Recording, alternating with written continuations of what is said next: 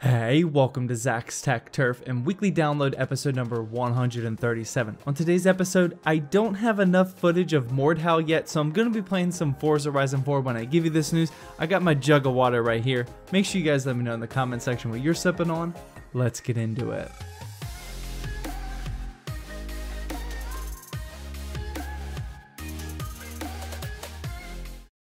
Before we get into it though, let me quickly pay some bills. NordVPN is one of the highest rated VPNs or virtual private networks that allow you to browse the internet privately, securely, and with no history logs whatsoever. It's super easy to use, all you do is select which server from around the world you want to connect to and you're done. Enjoy clutch features like double VPN protection for extra security, an internet kill switch for the very rare time the VPN disconnects, super fast peer-to-peer -peer downloads, and unlimited bandwidth for just above 3 bucks a month if you sign up for 2 years. I actually signed up for a year of NordVPN at full retail price way before they hooked me up with a referral link and a discount code for you guys, so I obviously recommend them as my go-to VPN service. Head on over to nordvpn.com slash Zach or click the first link in the description to learn more. To kick off the tech news for the week, we got some juicy information that Nvidia may possibly be already working on a refresh of their Turing-based RTX cards to compete with the much anticipated Navi GPUs. Red Gaming Tech is the source of the rumor, so I have no idea how legit that is, but I can definitely see Nvidia pulling something like this off. Sure, I just spent $1,300 on my RTX 2080 Ti, and within a year, Nvidia's gonna knock it down the and pull a bit. I honestly don't even think they have to do this. Navi GPUs are gonna launch, and with some slight price changes, Nvidia will be perfectly fine, but we shall wait and see, I guess. Speaking of AMD, now that we are less than a couple of weeks away from the official debut of AMD's Zen 2 based 3000 series CPUs, the leaks are coming in, and this time it's a 12 core variant with apparently higher IPC versus the Threadripper 1920X. The leak comes in the form of an engineering sample, which definitely sounds likely, and the information in the article, which I have linked down in the description, shows off what apparently looks like pretty decent IPC improvements. This isn't anything new, honestly, but we've all been so excited for this 16 core to launch, and we haven't really talked about the other possibilities such as a 12 core. Hashtag RIP quad core processors. Circling over to the Intel news, you've probably already seen this unless you've been living under a rock this week, but security researchers have revealed that there's a new vulnerability that's apparently bigger than Spectre, which is pretty serious. This new vulnerability allows for a process called MDS attacks or microarchitectural data sampling, and this will allow the leak of quote unquote secure data. A lot of information floating around this week is indicating that we should disable hyperthreading on these affected Intel CPUs, which will prevent the exploits, but Intel is actually disagreeing with that recommendation. This new vulnerability is also affecting pretty much every consumer Intel chip that most of us are rocking. For me personally, I would recommend not freaking out about it yet. This is still just now reaching the surface, and I'm sure by next week we'll get some much better information from Intel about what to do about it. For now, use common sense when downloading and scan all executable files on your PC with a virus scanner or even a web utility such as VirusTotal. In some even more serious vulnerability news this week, Microsoft released a critical update that fixed a huge security flaw in systems all the way back to Windows XP and Server 2008. This vulnerability is related to Windows Remote Desktop Services, and apparently attack is possible that requires no user interaction and it's pre-authentication, which is pretty scary. This means that the vulnerability is wormable, and this could spread just like the WannaCry malware did a couple of years ago. People that are rocking older operating systems such as Windows 7 and Server 2008 should definitely hit that Windows Update button before it's too late, and Microsoft thinks that this is so serious that they even patched up Windows 2003 and Windows XP, which is absolutely crazy. Next up, you guys may remember when the Steam Link app launched on Android but got halted on iOS. Well, now months and months later, Steam Link is officially out for iPhone and Apple TV. Steam was rejected last year by the App Store, and I actually remember being super upset about this, and it's pretty ridiculous just how long it took to get approved. Steam Link allows you to stream your main gaming PC through your network and onto your phone, and I definitely want to hear from you guys if you want to see a video about this anytime soon. And to wrap up the tech news for the week, the OnePlus 7 Pro is now officially released, and even though we got a ton of leaks about it, people seem pretty dang excited for this new phone. From what I've been reading and seeing, the OnePlus 7 Pro is blazing fast and has a super crispy AMOLED 90Hz screen, which definitely competes with some much more expensive flagship phones on the market. Getting into the PC gaming news for the week, and by far my favorite article for this episode, Blizzard announced a few days ago that WoW Classic has a launch date of August 27th, and the high tier streamers actually started streaming the beta this week. You guys know by now that I absolutely cannot wait for WoW Classic, and at the time of this episode releasing, we are only 101 days away. Also, in more WoW news, the Blizzard president says that after the vanilla server goes live, there's definitely still hope that they release Burning Crusade and Wrath of the Lich King servers in the future as well. Now, in my opinion, this decision is definitely going to rely heavily on the results of the WoW Classic servers, and since I really want this to happen, I really hope that people are as excited about WoW Classic as me, and hopefully we don't get bored of it after the nostalgia takes its course. Next up, there's a couple of free games that I want to quickly talk about, the first one being Steep, and this one is free to pick up and keep forever over on the Uplay store until May 22nd. Steep is an extreme sports game where you can snowboard down the mountains, and I remember the graphics being pretty good, and I believe it got some pretty good reviews when it first came out a couple of years ago. The second free game of the week is the first Witcher game, and this one is free to pick up over on GOG. Apparently, you'll need to download the GOG Galaxy client, sign up for a GOG newsletter, and add Gwent to your library, but after that, the game is yours to keep forever. Well, that wraps up weekly download episode number 137. As always, drop a comment down below about what your favorite news was this week, or if I missed anything. And after that, feel free to head on over to one of these two videos if you haven't seen them yet, and definitely hit that subscribe button because coming up next,